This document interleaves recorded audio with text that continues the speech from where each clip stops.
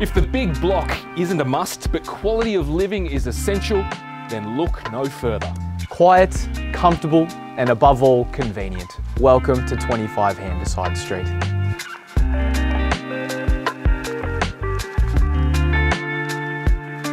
A remarkable townhouse alternative that avoids any body corporate fees. This stunning dual occupancy is sure to impress.